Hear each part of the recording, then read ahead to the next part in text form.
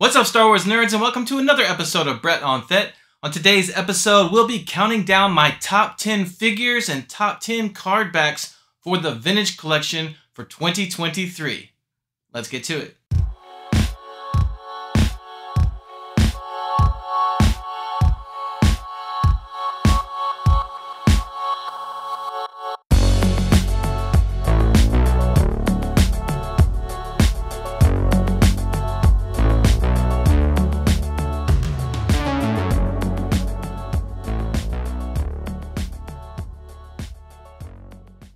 Back to the channel. This is episode 83 of Brett on Fett, and it is the last video I'm recording of 2023. And so I wanted to take this time to reflect on some of the amazing releases we've gotten for the Vintage Collection this year. I'm going to be giving you my top 10 TVC figures of the year, as well as my top 10 cardbacks of the year. And then just for fun, at the end, I'll give my top 5 figure card back combo. Now, last year, if you watched this video, I didn't separate the figures from the card backs. It was more of a top 10 combination where I factored in a good card back along with the figure. I think I used about a 2 to 3 ratio on the figure. So the rating for the figure itself was more rated than the card back, but I wanted to give kind of the entire package when I did that top 10. But this year, there were several very good releases for figures that did not come on card. So I thought it would not be fair to have to factor in card backs with the figure when selecting my top 10. So I thought this year it'd be a lot simpler to just go ahead and separate the figure from the card back and do two completely separate top 10s. And then just for fun, throw in top five of combos for those releases that were just really good figures and had really good card backs as well. Now just to go over some basic ground rules for this, number one, for the figures, I am not counting any straight reissues or repacks. They have to be new releases. However, I am counting repaints of previous figures. So if they've taken a figure that was released a previous year and given it a completely new paint job, as a new character or a new release or new version, those figures will be eligible. But straight repacks where all they've done is maybe updated the photo reel for the face, I am not counting those figures for my top 10 figures. Now for card backs, the only requirement is that it is a new card back for the vintage collection. And so if they've done a straight repack or reissue of the figure, but put it on a different card back, then that would be eligible because it's obviously just about the card back and nothing to do with the figure. So as long as it's a new card back, it's good to go for my top 10 favorite card backs. And that's the basic ground rules, but I will have some other specific rules or exceptions, which I will get into a little later. All right, so let's go ahead and get things kicked off by going over my top 10 card back releases for the Vintage Collection. All right, to kick off my top card backs for 2023, I do want to start off with an honorable mention, and that is the Scout Trooper from Return of the Jedi. Classic card back. I love this image. An image of a character in motion, in action, is always a bonus for me. It's a VC273, and I've always liked that image, so it's a great one. Just barely didn't make my top 10 as I'm giving slight preferences to card back images we've never had before course, we've had the Scout Trooper many times going back to the Kenner days and more recently with the Saga Vintage Collection. But it's a great card back and it's just come out with the TVC finally this year, so I wanted to acknowledge it. All right, so starting off the top 10 at number 10, I have Chopper or C1-10P. This is just a really clean looking card back. I really like the image they use with Chopper in that white hallway. It makes him really pop with that bright white background. So I thought they did a great job picking that image. It is VC304, and I love Chopper, and I just thought they did a great job with this card back, so I had to get him in my top 10. Next up at number 9, I have the Clone Trooper Phase 2 armor. I remember this was a bit of a surprise to me that they released this Clone Trooper on an Andor card since it was a very small part of the series, although it was an important flashback scene. Uh, it says VC 269, but what a fantastic image of the trooper marching down the street. Very good use of lighting and just a great image overall. At number 8, I have Obi-Wan Kenobi Showdown from the Obi-Wan Kenobi series. Now, usually I don't like images on card backs that are pretty dark but maybe I'm changing my opinion because I've got at least a couple like that on this list. And this one is just really cool. It is VC290, and I just love that image of Obi-Wan being lit up solely by the light of his lightsaber. It just looks really cool. Next up at number 7, I have the Grand Inquisitor from the Obi-Wan Kenobi series. Just another great card back. Really good image of the Grand Inquisitor looking very formidable. I just don't think they could have done a better job selecting image of him. It is VC293, and I really like how the red light on his chest plate pops on this image. Next up at number six, I have Cad Bane, and this top six is getting really good and really difficult because when I saw the Cad Bane card back, I thought this would be one of my top two or three favorites of the year. And it is an awesome image of Cad Bane. They did a great job choosing this one in that duel against Boba Fett. It is VC 283. And I really love how they chose the red name pill and figure pill to go with his red glowing eyes. Great image, awesome card back. Next up at number 5, I have General Hera Syndulla from the Ahsoka series. And for this one, it's all about the color coordination. This thing really pops with the purples catching off some of the other colors from Hera. I like the orange on top of the purple. It is VC 300 and overall this card back is just very pleasing to the eye, excellent for display. At number four, I have Boba Fett, the vintage comic art version. And what's not to like about this card back taken directly from the Star Wars number 42 comic book, Boba Fett's debut. I love the colors. I love the fact that Bossk and Dengar are staying there behind him. It is VC 277, and it's just a great image that they chose from that comic book. I love how it says and now the bounty hunters on it and I like the powder blue name pill as well. At number 3 I chose the Klatooinian Raider card back from the Mandalorian. That image of the ATST lighting up with those red glowing eyes was one of my favorite images from Mandalorian season 1 and it busts out with a spotlight. And that is just so cool that they went with that on the card back. It is on the dark side, but you know, this was a scene at night. It is VC 266. But yeah, it's a little dark, but it's just so cool with that spotlight, the red glowing eyes, and you've even got the Raiders running there at the bottom as well. So it's an action-packed card back with just some really cool imagery. Up next at number two, I have Darth Vader Death Star 2 from Return of the Jedi. What a great image of Vader with his helmet off, with Sebastian Shaw from that great scene with him and Luke. This is VC 280, and what I love about this image is it really feels like a classic image from a vintage Kenner figure we just never got. A version of Darth Vader we never got in the Kenner line, but you can imagine if we did, this is the image they would have used. So it just feels classic and new at the same time. I love it. And finally, my number one favorite card back for TVC of 2023 is Admiral Piet from Return of the Jedi.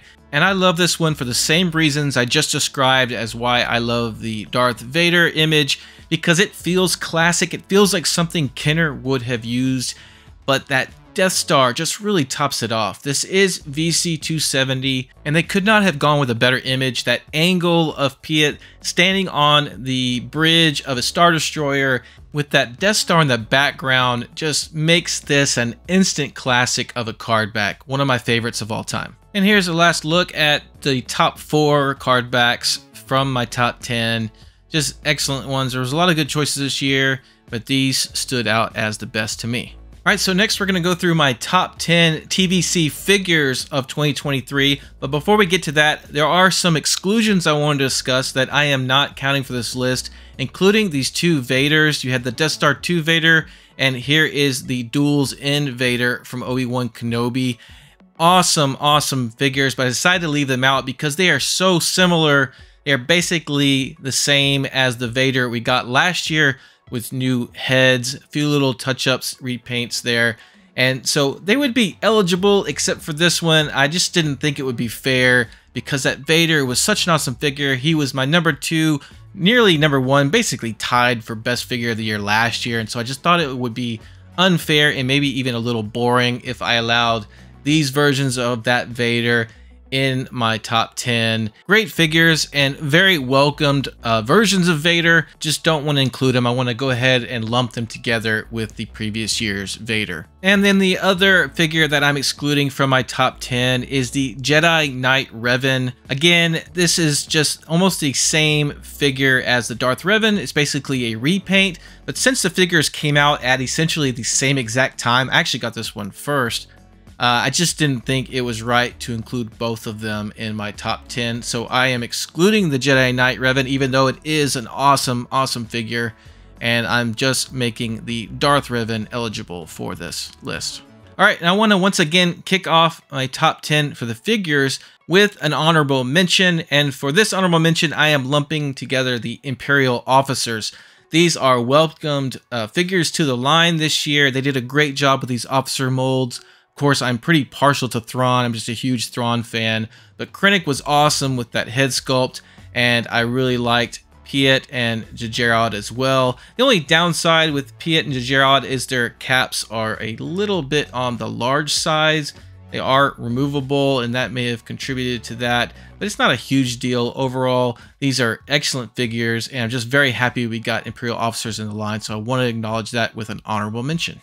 All right, I am starting off the top 10 with a repaint. For number 10, I chose Boba Fett in his Kenner colors. This is one of my favorite TVC releases of all time, but since it is just a repaint of a previous Return of the Jedi Boba Fett mold, I did knock him down all the way to number 10. But this is one of my favorite repaints and just favorite releases in general because it's a great mold for Boba Fett and it's got that nostalgia from the Kenner line. Here he is next to my Taiwan graded Boba Fett and you can see they did a great job matching the old school colors of the figure.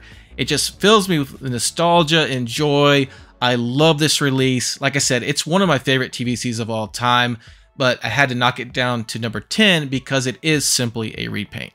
At number 9, I have Hunter, and this is one of the first figures we got in 2023. And I remember when I got this figure and reviewed him, I was thinking this guy is easily going to be a top 5 figure of the year, but there was just so much good stuff that beat him out. But excellent head sculpt, a very good translation from the animated character to a more realistic line that is TVC.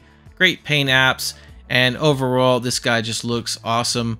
Now, he does have great articulation, and I love that he has this little vibro blade that fits into his little storage compartment there on his gauntlet.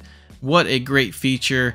So fun posing this figure. Now the helmet is a little bit on the large size. I know when I first reviewed him, I didn't think it was that bad, but as I kept him over time, I did start to feel like maybe I was wrong about that. And the helmet is a little too big. And I think that's probably why I've ended up knocking him down to number nine. Otherwise, great figure. At number eight, I have the Grand Inquisitor from Obi-Wan Kenobi. Another all-new figure that Hasbro has done an amazing job on. This figure overall looks so good. The head sculpt looks spot on to me. Paint apps are on point. The accessories look good. The articulation is really excellent. You can see with his elbows, for example, he can fold uh, past 90 degrees. So that's great for a saber wielder. Love the sabers and how this can mount on the back. One of my favorite features of this figure. Very cool feature there. And I like the soft goods cape with the two tones. So really happy with this one. He just looks awesome. Next up at number 7, I have General Hera Syndulla. Maybe one of the pleasant surprises of 2023 is this figure. She looks amazing. Great head sculpt. I love the goggles on her helmet there. I love the details on her jacket, the decals. The jacket itself is separate and I just, I like the artwork on the back. Very nice. Everything is really great about this figure. And even her blaster pistol has some paint apps on it, uh, which looks really good for a relatively small gun there. And I'm not sure why my expectations for this figure were so low. Maybe it has something to do with I didn't really like how she was portrayed on the Ahsoka series, so I just wasn't too excited about this figure. But really, they could not have done a better job, I think. This is a truly excellent figure that could easily be ranked higher in anyone's list, and it probably will be on a lot of people's top 5. My next figure at number six was the very last figure of 2023 for TVC that I acquired, and it is Pre Vizsla. And this guy is awesome. When I first got him, I thought, okay, this guy is easily going to be my top five, maybe even top three. I just love the helmet and the paint apps on his chest plate. Everything looks so good on this figure, and the it's got all the articulation you need. The dark saber looks cool. I love the way his jetpack looks, and you know maybe one of the best things about this figure, at least besides the helmet, is the head sculpt. What a perfect translation from the animated version to a more realistic TVC version of Pre Vizsla. He just looks awesome. And I think the only reason I have it number six is because he does have a lot of reuse from a figure from last year, from the Mandalorian figures we got before. And there's just so much good competition this year. So I just ended up having to put him at six, even though he is such an awesome figure. At number five, I went with Boba Fett Tusken from the Book of Boba Fett. And I struggled flipping back and forth between Boba Fett Tusken and Pre Vizsla for this number five spot ultimately went with this Boba Fett because he just has so much to offer here. And it is mostly new stuff on this figure. A little bit of reuse, but mostly new. And under the cloth goods, which is awesome, by the way, there's just so much going on with his belt and his holster. I just really like the cloth goods, though. The hood is perfect the way it fits. And I really like the accessories he comes with, with that long rifle and his gaffi stick which has paint apps on it, and then his holster with his blaster pistol. And the fact that his cloth goods look so good, but you can remove them and the figure is almost just as good without the cloth goods on him. It's just a very versatile figure. It's a great release. I had to get him in the top five. At number four, another awesome figure from the Book of Boba Fett, and that is Cad Bane, one of my favorite bad guys in Star Wars of all time a much needed release, a very welcomed release, and they did an excellent job with this all new figure. He looks so good. His face sculpt with his little breathing apparatus, his gauntlets, everything about this figure is pretty excellent. A lot of great detail. Just couldn't ask for more on this figure. Now, one thing I was disappointed in is they didn't put the metal plate on his head like they did on the Black Series version. And also, I thought his hat is a little bit oddly shaped. It's a little too wide where the crown meets the brim. Um, but I think they just had to do that to make it work and fit properly on his head. It's not a big deal, just a minor thing that kind of bothered me. But so happy to get this figure in the line, and I really hope they make more versions of Cad Bane, particularly the Clone Wars version, which happens to be my favorite version of the character. The Book of Boba Fett figures are coming in strong. I've got another one. At number three, I have Krrsantan. Now this is the San Diego Comic-Con exclusive version of Krrsantan, which has the different head sculpt where he's growling. This is basically the same figure, just a different head sculpt. It could have gone with either one, but I prefer this version of his head sculpt. Plus the San Diego Comic-Con exclusive comes with more accessories. I'm not going to get into all the accessories. I will just say the accessories are awesome. But I love this figure for the details and the sculpting they did it's just excellent. The only issue here is his head cannot rotate hardly at all, but I don't know how they could make that work and still look as good as it did, so I'm okay with it. The rest of the articulation on this figure is excellent. This is just a beast of a figure. It looks so good. I'm really happy with this one. There was just no way I was leaving him out of my top three. At number two, I have Darth Revan from Knights of the Old Republic. Now, full disclosure, Darth Revan was my number one most wanted figure from TV for TVC last year, and so I could be a little bit biased, but I just think this figure looks so good. They nailed it. They hit this one out of the park. I love the tethered cloth goods, the paint apps even under the skirt. The combination of soft plastic with cloth goods works with the hood and everything. And the paint apps just look so good. All the details. I just really love everything about this figure. The lightsabers. Now to me the only issue with this figure is the elbows just barely get 90 degrees and getting past 90 degrees would really be ideal for a lightsaber wielder, but it's not that big a deal. I don't find that I have really any issues posing him how I want to pose him, and I think it's something that can be easily forgiven based on how good he looks. And this is a very easy choice at number two for me. So by now you've probably guessed my number one favorite figure of the year for TVC and it is of course Paz Vizsla. He did not come on a card back which was very disappointing. They released him in a deluxe box but the figure itself does not disappoint. He is awesome. They nailed it on this figure. Look at his gun all the details. You got a little bit of weathering going on. Look how great his jetpack looks. Really excellent stuff there. Paz Vizsla has been one of my favorite Black Series figures of all time, and achieving that level of detail in the 6 inch scale is one thing, but getting it just as good in the three and three quarter scale is a totally different ball game. And they just did a great job. And i love the accessories with this little shield that can go on his gauntlet. And of course the vibro blade that can slip there on the side of his leg with the little holster there. The articulation is great for such a bulky figure. A lot of fun posing this guy. And he's just such a cool character. He's long overdue for the tvc line so glad he finally made it, and it was worth the wait because he is the best figure of 2023. And here is another look at all of my top 10 vintage collection figures for 2023.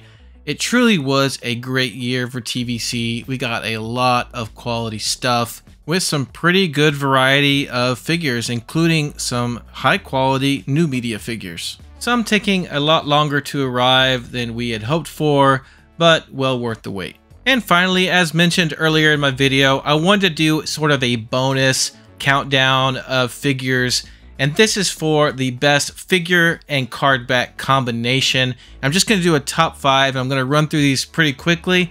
And I'll start with another honorable mention, and that is Boba Fett Tusken.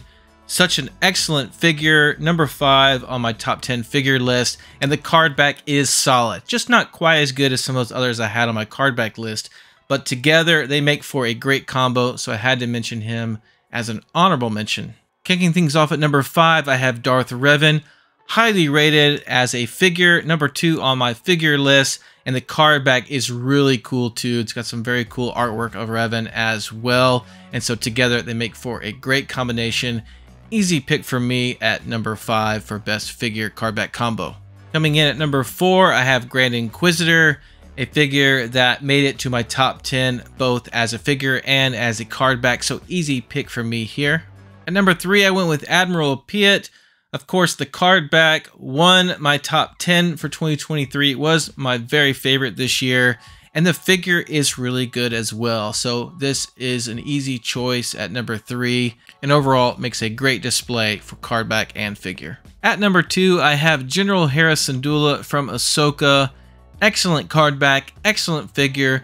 Both made a showing in my top 10 at the respective categories. And so this overall makes for a nice package to display for anyone's collection. And finally, my number one choice for best action figure and card back combination is Cad Bane from the Book of Boba Fett. Such a cool figure, such an excellent choice for a card back image. If you only collect carded vintage collection figures, Cad Bane is the best and most complete package you could have gotten in 2023 as far as the quality of the figure and quality of the card back combined. Alright, so that's going to do it for this last episode of 2023 for Brett on Fett. Let me know in the comments what your favorite TVC figures and favorite TVC card backs were for 2023. Thanks for checking out this video. I hope you're having a great holiday so far. Happy New Year to everyone, and let's have a great 2024. Take care, and we'll see you next time.